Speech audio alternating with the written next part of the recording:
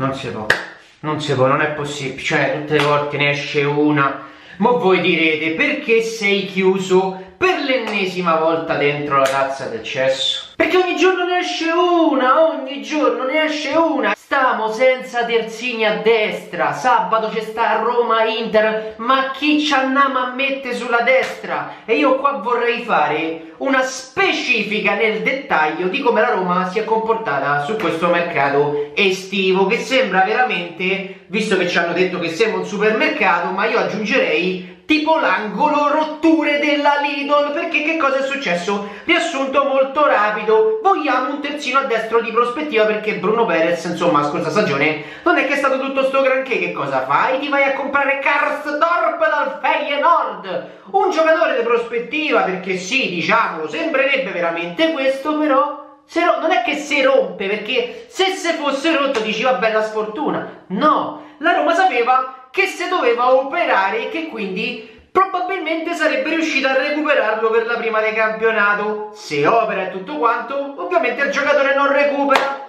Vabbè, pace e pazienza. Florenzi, discorso numero 2. So due volte che si opera, sta recuperando ovviamente un altro terzino che tu comunque non puoi utilizzare e su cui non puoi fare fede. Dici vabbè, tanto c'è Bruno Perez, che te frega? Prima del campionato Bruno Perez inciampica sopra una lumaca, non si rialza più. Scocciato completamente, manco uno Svaroschi si scocciava col bus.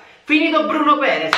Allora dici, vabbè, ma tanto, ma che te frega? C'hai Nura, che comunque è giovane, è de prospettiva, è nigeriano. Ecco appunto, ragazzi miei, allenamento, Nura è inciampicato sopra un filo d'erba, non si è rialzato più manco lui. Scocciato, 6-8 settimane out. Io adesso mi chiedo e vi domando, ma noi sabato contro l'Inter come giochiamo? Chi ci vai a mettere a testa? Perché ho sentito voci che vorrebbero che Di Francesco potrebbe provare a metterci Manolas. Manolas ha fatto danni al centro l'altro giorno che se c'è stato Juan Jesus io non lo so quello che poteva succedere. Tu mi vai a mettere a destra mano... Ma stiamo a scherzare? Ma stiamo a scherzare io spero! E poi soprattutto che te vado a sentire? Di Francesco potrebbe sperimentare la difesa a 3 Lasciate perdere, Di Francesco con la difesa a 3, ragazzi, è come Zeman che gioca con la difesa a 5, è, a 7, è impossibile, cioè... Io non so quello che devo io non so quello che devo pensare, ma conoscendo Spalletti secondo me lo sapete che cosa succede? Che quello invece di giocare con i terzini a sinistra e a destra e con i centrocampisti esterni a sinistra e a destra, quello gioca con tutti i terzini sulla sinistra in modo che noi sulla destra col buco si mettono tipo a tremino e ci fanno